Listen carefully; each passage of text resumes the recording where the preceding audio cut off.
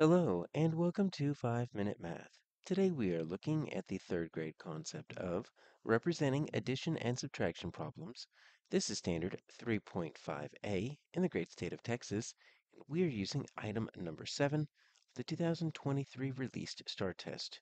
If you haven't done so already, please go ahead and take a moment to pause the video, work this problem out on your own, unpause it, and we will look at our answers together. So we had a cafeteria with 20 or 280 ice cream bars. During lunch, some, all right, so we have some, we have a missing quantity here. All right, so I'm going to put a question mark right here. All right, so some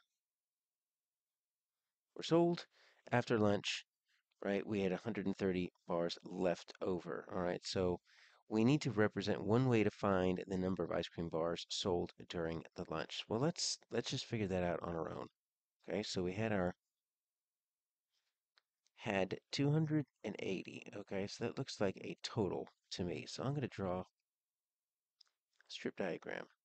Okay, so I'm going to put 280 here. And then it's really going to just come into two parts, right? Some were sold.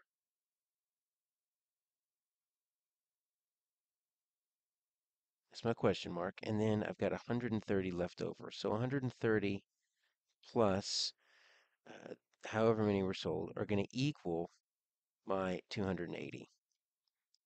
So let's see.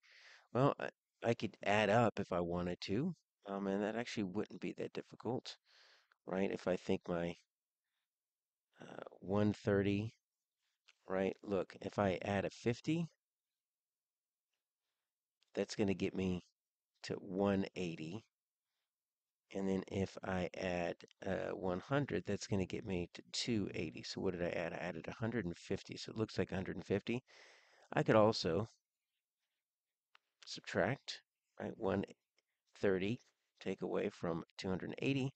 There's not even any regrouping necessary.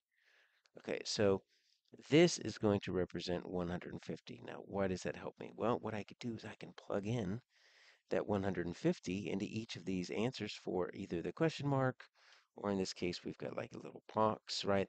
It's all an unknown number, and we'll see if it works. Okay, so look what we did here.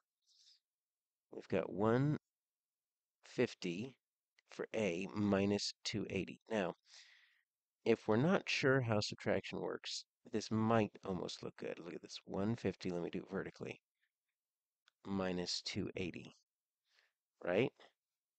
8 minus 5 is 3, 2 minus 1 is 1. So you kind of see it, but that's not how subtraction works, right? Unless you want your answer to be negative, and we're not going to sell, uh, you know, negative number of ice cream bars during lunch, you need your larger number on top, and 280 is larger than 150. So you actually can't, just can't do that problem, right? Unless you get a negative, and it, a negative doesn't make sense in this situation. So that is not going to work for that one. Now, B does have a strip diagram, but remember, we sold 150 bars during lunch. The missing number is supposed to be 150, but take a look. I got my 280 and I've got my 130. It's a part part whole, but these are the two parts. In order to figure out what this is, right, I have to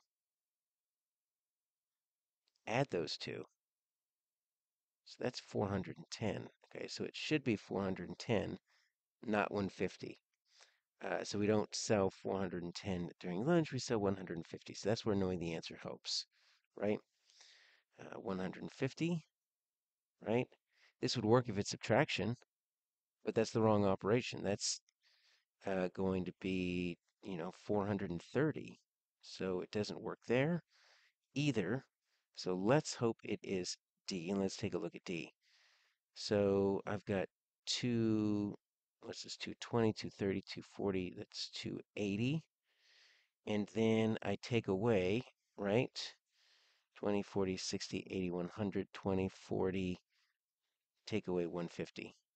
So that's kind of a strange way to look at it, but it's using a number line, right? So I started with 280, took away 150, and what did I end up with? 120, and then I've got my uh, 130, which is this right here. Yes, that works. My answer is D.